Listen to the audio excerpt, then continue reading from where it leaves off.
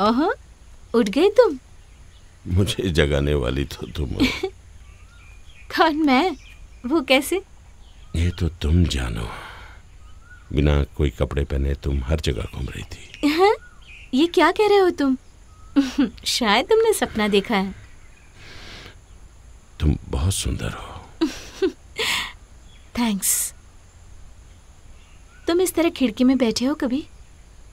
बहुत अच्छी जगह है। यहाँ बैठ के पढ़ना मुझे बहुत पसंद है। एक किस दो मुझे। नहीं गुड्डू तुम पागल हो गए क्या? नहीं दे सकती लेकिन क्यों? उस दिन तो हमने इससे ज़्यादा हद पार की थी। उस दिन कुछ और था। आज मैं तुम्हें नहीं छोड़ूँगा। मुझे तुम चाहिए। नहीं गुड्डू ये सही नहीं है। मुझे छोड़ो छोड़ो मुझे। प्रॉब्लम क्या है? तुम्हें ये सब सुबह सुबह पसंद नहीं है क्या? शांत हो जाओ गुड्डू एक औरत के साथ ऐसा बर्ताव कभी मत करना। तुम कौन सी बड़ी पुण्यवती हो? छोड़ो मुझे तुम बहुत पछताओगे। हम तो पहले भी ऐसा कर चुके अब मैं तुम्हें मारूँगी हाँ? तुम्हारी हिम्मत कैसे हुई मुझ पर हाथ उठाने की? तुम अपने आप को समझती क्या हो? और मारूँगी।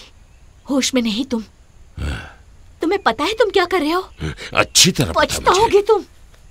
मुझे सिखाने की कोशिश मत करो। मैं सब जानता हूँ। तुम एक वेश्या हो। इस शहर की वेश्या। वाह क्या बात है। क्या मस्त सीन है। हम्म, अभी मुझे पता चला तुम्हारी असलियत क्या है।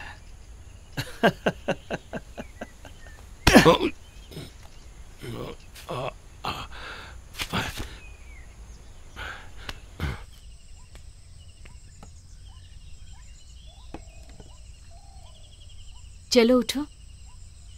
खाना खा लो। नहीं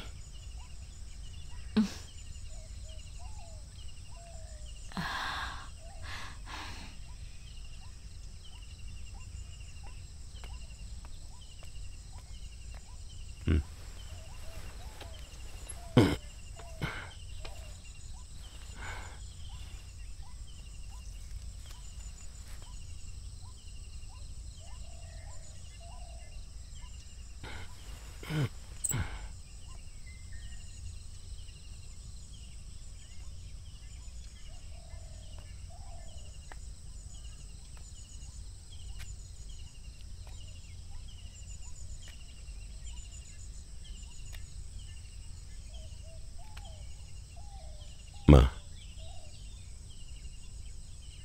माँ मेरी बात सुनो। मुझे अपने आंचल की छाव में ढक लो।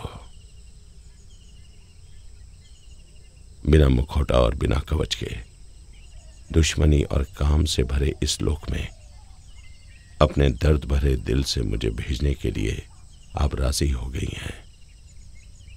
माँ, आपको तो सब मालूम है, मायूसी की आँखों से आँसू बहते हैं।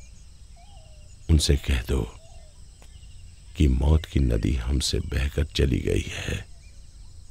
चाहे तो वो कल आकर मुझे मिल सकते हैं और मेरे गालों को छूकर गुदगुदी कर सकते हैं, बिना जलाए हुए सिगार के धुएँ जैसा। गर्मी के मौसम में संतरे के पेड़ के नीचे माँ अपने मुझे आज़ाद कर दिया। ये उनसे कह दो